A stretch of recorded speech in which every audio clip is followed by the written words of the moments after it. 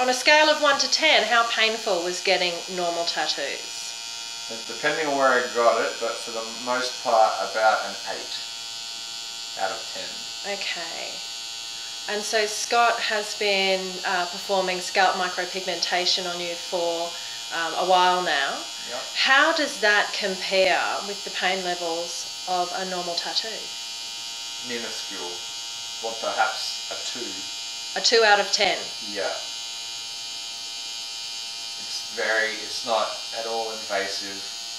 It's maybe like a pinprick. Nothing overly. It's actually almost relaxing.